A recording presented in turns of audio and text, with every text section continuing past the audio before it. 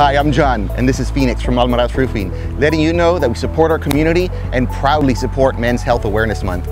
Prostate cancer is one of the most common types of cancer. Although there are no definite measures to prevent it, the risk can be reduced by following precautionary measures. Remember, early detection increases the chance for successful treatment. Join Almaraz Roofing as we bring awareness to men's health and take control of your health and visit your doctor regularly.